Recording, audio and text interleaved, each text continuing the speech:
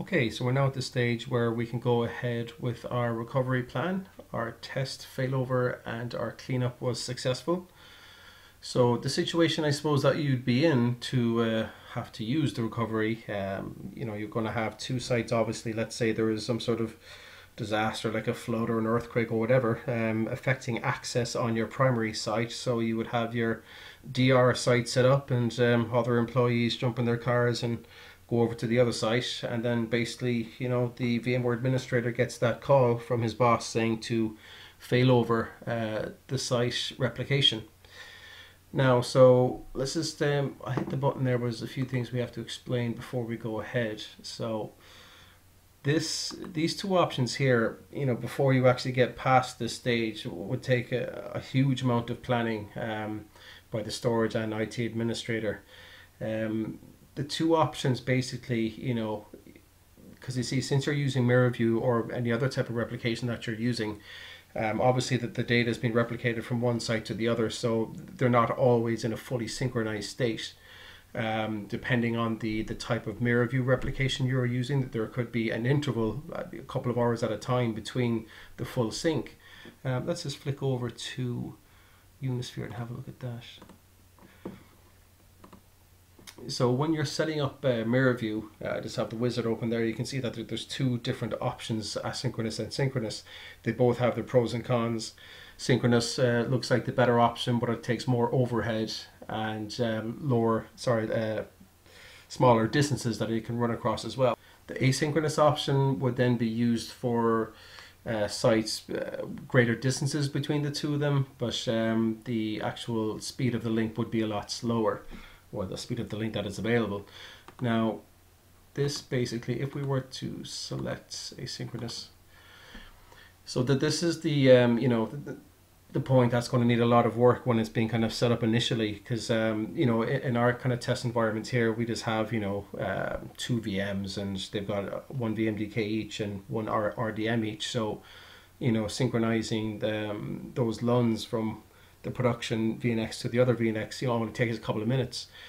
If you have a full production environment with thousands of VMs and those LUNs are replicated from, you know, uh, production to DR, um, this sync interval, you know, but by the time it actually makes a full sync between the two LUNs, that could be several hours.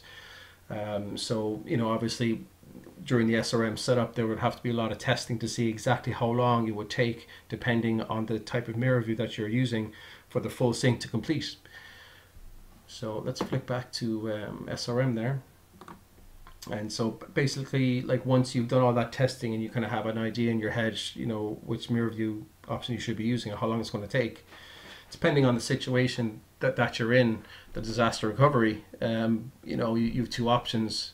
One, um, you want to sync all the changes. You want to keep all the changes between the last full sync uh, over to your DR site or your boss just rings you up and says get those VMs up as soon as possible and that's where you select this option here so basically um, it's not there could be data loss you know if you use this option it may not include all the data that you have on your production site this option here theoretically you should be able to keep all the, the data that you do have um, on your production site but obviously it's going to take a lot longer to get those VMs back up and running. So that's the trade-off. So in this case, um, obviously you take that, you have to select that because there could be um, data loss depending on the option that you take. So for this option, we're just going to select the planned migration. And let's go ahead and start that off. Okay, so it's now just uh, synchronizing the storage again from production to the DR side. Uh, while it's doing that, let's quickly switch over to U Unisphere. These are the four LUNs. Actually, I could ignore that one. It's this one, this one, these four here uh, that I've set up for our lab. And you can see that they're all, all the role of all our, the mirrors is primary on the Athena side. So this guy is um, got the production data on them. And obviously uh, we're going to see that this status change uh, during the, the site recovery process. It's going to be pretty similar setup to the, the test failover. We're just going to see the, the data being synced. Uh, it's going to shut down the VMs on the production side. So we won't see a whole lot happening on Pandora for a few minutes, I think. Let's have a quick look on the host side. Nothing of any major interest there.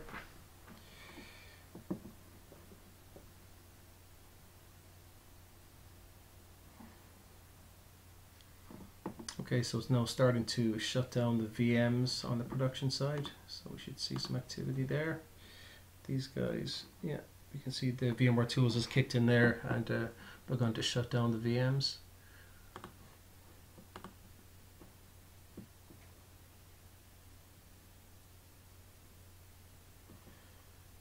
Okay, let's have a look at the state of the VMs now. So those VMs are now shut down. And we want to see various other activity kicking in there. Now the placeholder VMs have been put in place. Let's flick over to Pandora. Placeholder VMs are still in place on the DR side. I assume there's still synchronization going on.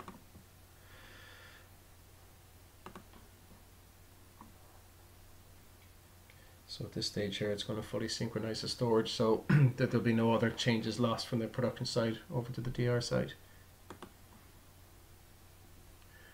So you can see this is kind of going through pretty quickly since we've only got two VMs, but you know you can imagine if there's you know several hundred VMs to be uh, replicated between the two sites, then you know the RPO and the RTO objectives uh, become you know a lot more important. Exactly how much time you can uh, allocate to the to the actual um, failover Let's have a look on the ESX side, see if there's anything interesting happening there. No, nothing much yet.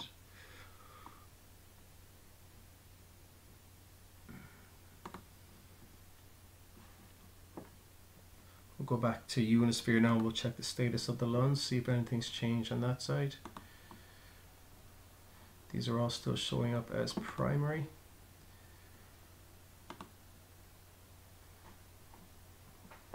Down here you can see as well that Athena is the primary image, Pandora DR site is the secondary, should be the same for all of them really.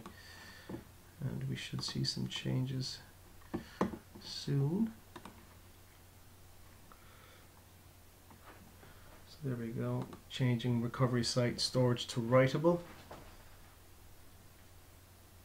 Because the replicated LUNs that, that are presented to the Pandora host on the DR site are obviously read-only and then at this stage obviously they're becoming read write so they can power on the VMs.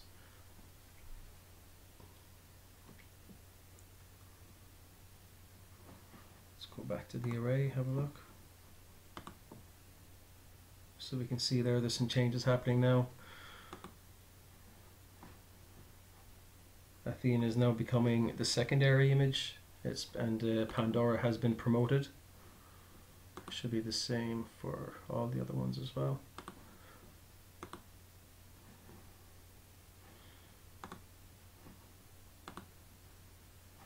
Okay.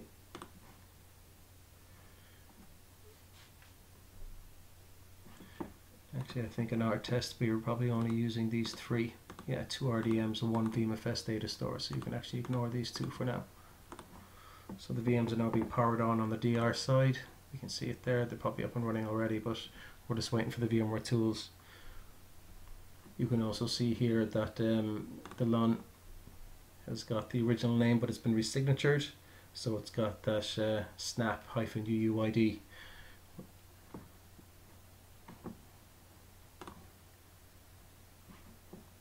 Let's go back to the ESX on Pandora, see if there's anything happening there. What I'll do actually is